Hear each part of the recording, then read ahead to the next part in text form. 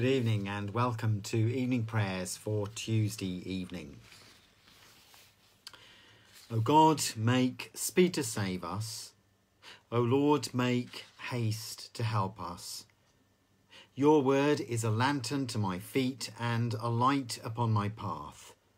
Your decrees are my inheritance forever. Truly they are the joy of my heart. How sweet are your words to my taste! They are sweeter than honey to my mouth. Glory to the Father and to the Son and to the Holy Spirit, as it was in the beginning, is now, and shall be forever. Amen. Tonight's psalm is Psalm 121, one of the better known of the psalms, where the psalmist asks a question where shall my help come from? And answers that it comes from the maker of heaven and earth. And he looks to the heavens in hope. I've chosen tonight from my Dutch friends' resources from Nederland Zingt a Dutch rendition of Psalm 121. If you're not familiar with Dutch, see how much of this you recognize from the familiar, word, familiar words of Psalm 121.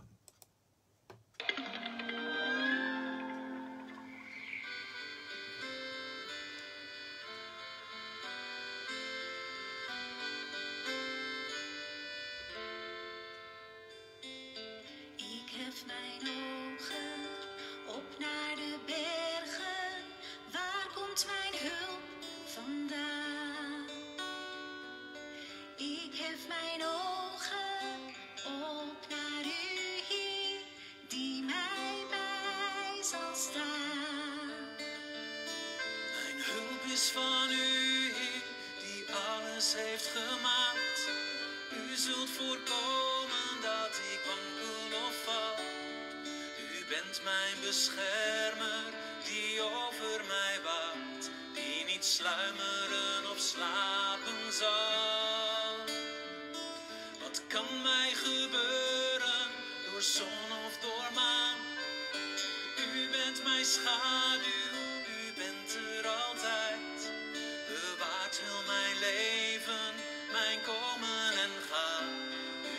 comes my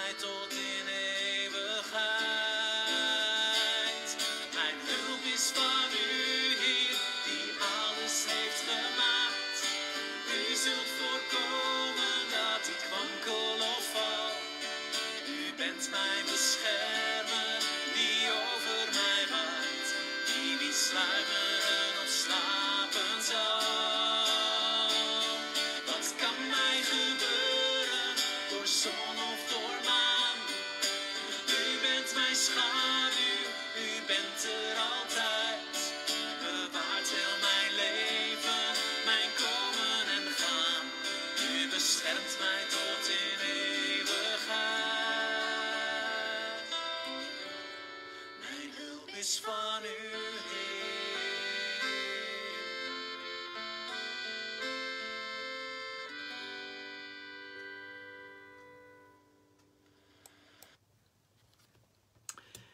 Our Old Testament reading is from the first book of Joshua, sorry, the first chapter of Joshua, the first nine verses. After the death of Moses, the servant of the Lord, the Lord spoke to Joshua, son of Nun, Moses' assistant, saying, My servant Moses is dead. Now proceed to cross the Jordan, you and all this people, into the land that I am giving to them to the Israelites. Every place that the sole of your foot will tread upon, I have given to you as I promised to Moses. From the wilderness and the Lebanon, as far as the great river, the river Euphrates, all the land of the Hittites to the great sea in the west shall be your territory. No one shall be able to stand against you all the days of your life. As I was with Moses, so I will be with you. I will not fail you or forsake you. Be strong and courageous, For you shall put this people in possession of the land that I swore to their ancestors to give them. Only be strong and very courageous, being careful to act in accordance with all the law that my servant Moses commanded you. Do not turn from it to the right hand or to the left, so that you may be successful wherever you go. This book of the law shall not depart out of your mouth. You shall meditate on it day and night so that you may be careful to act in accordance with all that is written in it. For then you shall make your way prosperous, and then you shall be successful. I hereby command you be strong and courageous. Do not be frightened or dismayed. The Lord your God is with you wherever you go. And tonight's carol is the carol Love Shone Down.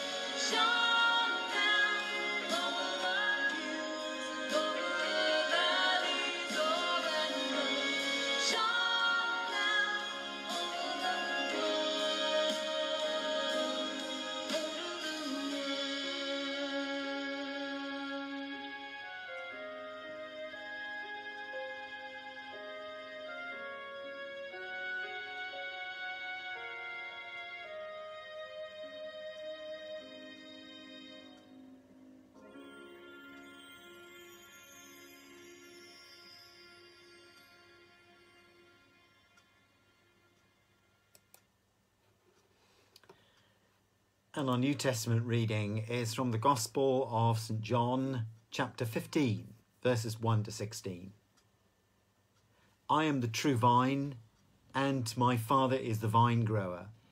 He removes every branch in me that bears no fruit. Every branch that bears fruit, he prunes to make it bear more fruit. You have already been cleansed by the word that I have spoken to you. Abide in me as I abide in you. Just as the branch cannot bear fruit by itself unless it abides in the vine, neither can you unless you abide in me. I am the vine, you are the branches. Those who abide in me and I in them bear much fruit, because apart from me you can do nothing. Whoever does not abide in me is thrown away like a branch and withers. Such branches are gathered, thrown into the fire, and burned. If you abide in me, and my words abide in you, ask for whatever you wish, and it will be done for you. My Father is glorified by this, that you bear much fruit and become my disciples. As the Father has loved me, so I have loved you. Abide in my love. If you keep my commandments, you will abide in my love, just as I have kept my Father's commandments and abide in his love. I have said these things to you, so that my joy may be in you, and that your joy may be complete.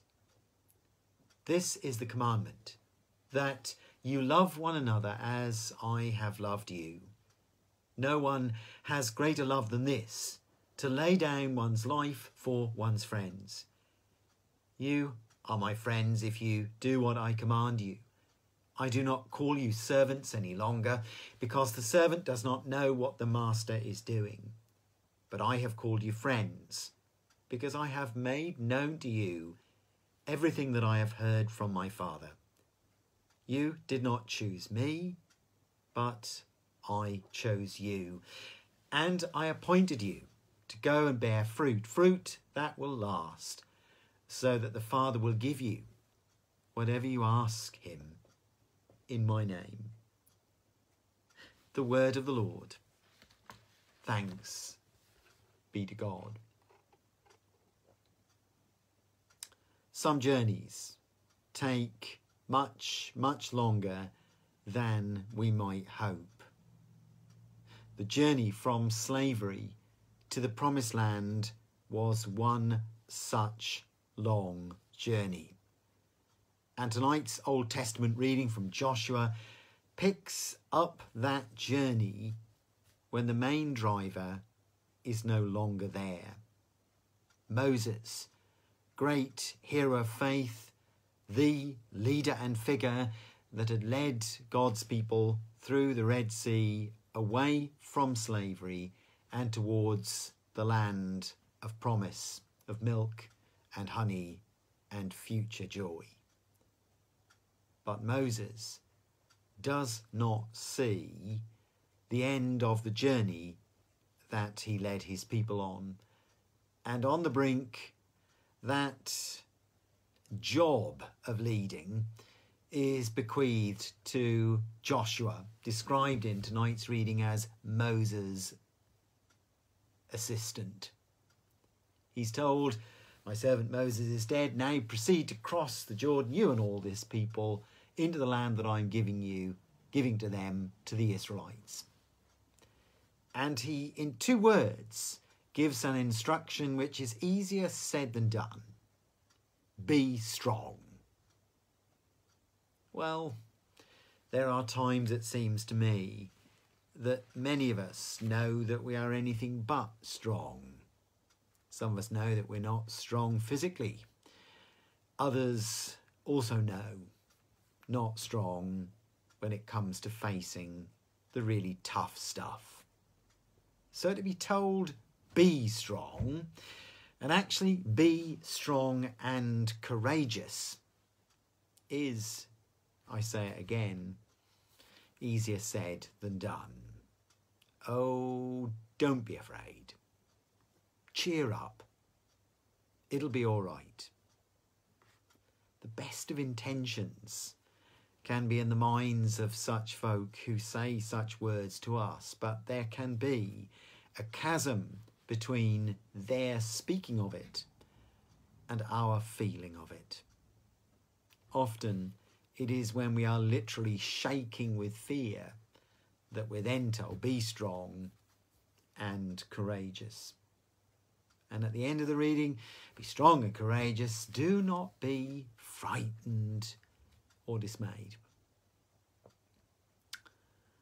The journey that all of us are on, albeit in different boats, is that journey, please God, away from the restrictions that COVID has placed upon us, the loss and the pain it has inflicted on some. It is a journey that many of us, like the children we once were from the back seat, would yell out, Are we nearly there yet? We cannot know. We can but hope that the vaccine will itself hasten and speed up the journey. And in the journey, the voice of the Lord addressed to Moses originally, addressed to Joshua, addressed without pause for God's people across the ages. Be strong and courageous. Do not be frightened or dismayed. And before we can retort, easier said than done, God, the voice continues, For the Lord your God is with you wherever you go. The God who urges us to be strong and courageous, who urges us to not be afraid, to be not frightened or dismayed, promises, yes, a word of promise. I am with you wherever you go. And in that sense, God might be saying, it's not me just saying it to you, be strong and courageous, don't be frightened or dismayed. I'm saying, I'm in this with you. So much so, fast forward in this, the last night of the 12 nights of celebrating Christmas, I'm with it, with you. God with us. In the one born in the manger, the one who said at the end, the other side of the, cr- the cross of pain and death for him, Lo, I am with you always, even to the end of time. And yes, with that promise, why not be open to the fact that you'll find more strength and courage than you'd ever imagine because of, yes, Emmanuel. Amen.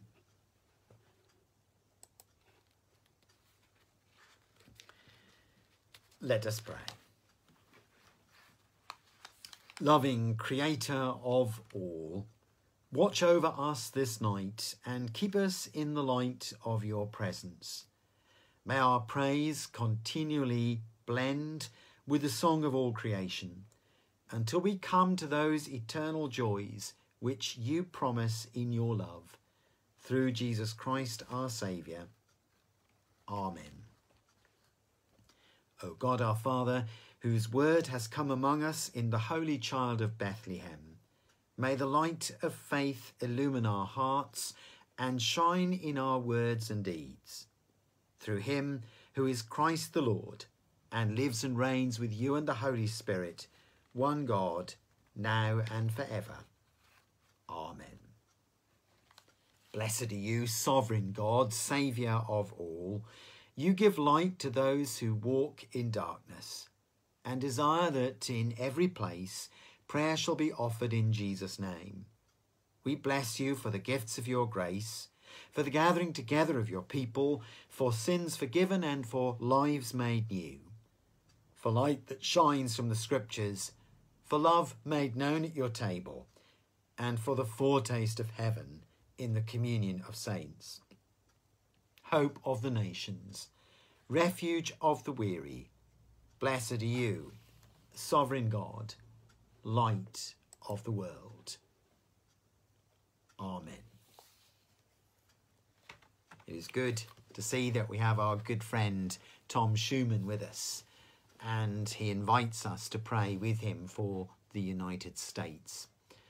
We certainly will, Tom, and we ask you in turn to pray for us here in the UK and for Onkatea and our friends in the Netherlands as each nation faces the fear of COVID and in your country, Tom, the great uncertainty of this transition from one presidency to another. So at evening time, let us offer our prayers to God. Let us pray for the church, that we may be moved to pursue truth and justice, that we, in succession to Moses and Joshua and all who have stepped into unknown territories on unknown journeys, do so with your promise that in you we may know courage and strength beyond our own as you walk with us and journey with us as once you did with Moses and Joshua, as among us you are in Emmanuel, God with us. God of mercy, hear our prayer. Let us pray for the whole earth that we may protect the beauty of creation. God of mercy, hear our prayer. Let us pray with Tom for the United States. Firstly, for courage and hope in the face of COVID. And secondly, in the face of the uncertain and difficult transition from one presidency to the next, for the turmoil and division, the contempt and the despair.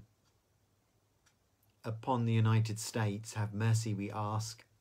Bless your church, all folk of faith and goodwill in that country, that justice may prevail. God of mercy, hear our prayer.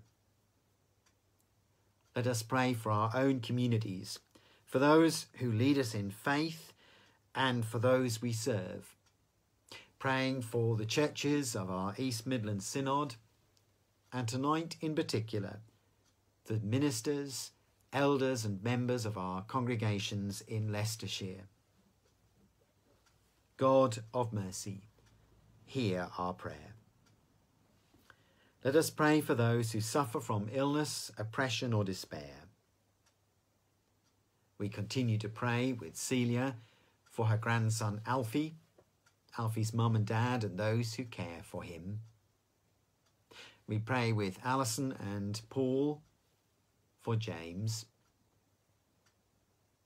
with Onkatea for Sarah,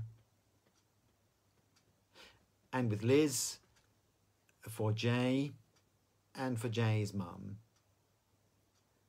We pray with all and any who know right now that sense of desperate need, that feeling potentially of Joshua's, that being strong and courageous, not being frightened or dismayed, is a big mountain to climb.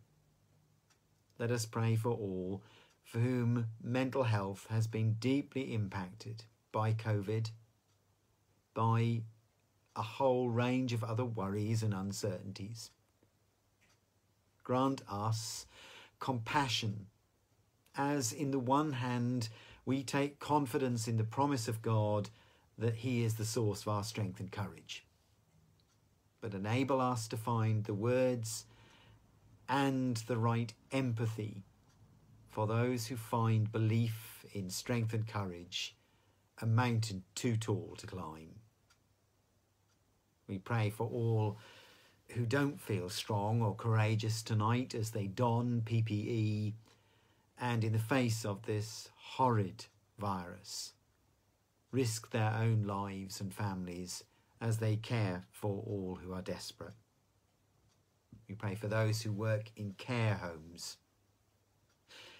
And we pray for all who work in schools, colleges, universities, and nurseries, those who right now don't have the lockdown we've been asked to take, but still have to share their time and risk with others.